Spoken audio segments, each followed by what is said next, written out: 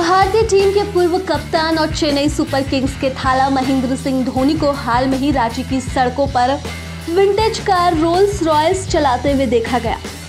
हालाँकि माही के मतवाले ये अच्छी तरह से जानते हैं कि धोनी को गाड़ियों का कितना शौक है। उनके पास कम से कम 15 हाई एंड कारें और 70 बाइक्स है। इस बीच धोनी रांची में विंटेज रोल्स रॉयल्स चलाते नज़र आए। उनका यह वीडियो सोशल मीडिया पर उन दोनों खूब वायरल हो रहा है।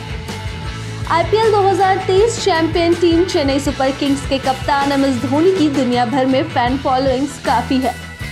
क्रिकेट के अलावा धोनी का वाहनों के प्रति भी काफ़ी प्यार देखने को मिलता है और धोनी अक्सर कार और बाइक्स चलाते नज़र आते हैं। वहीं इस बीच धोनी नीली कार की विंटेज रोल रॉयल्स चलाते नज़र आए।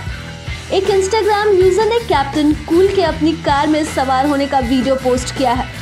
इस वीडियो में धोनी को रांची की सड़कों पर अपनी विंटेज 1980 रोल्स रॉयल्स चलाते हुए देखा जा सकता है। हालाँकि धोनी को उस वक्त नहीं पता था कि कोई उनकी वीडियो रिकॉर्ड कर रहा है। उनका फोकस पूरी तरह से अपनी नीली कार को रांची की सड़कों पर घुमाने पर था।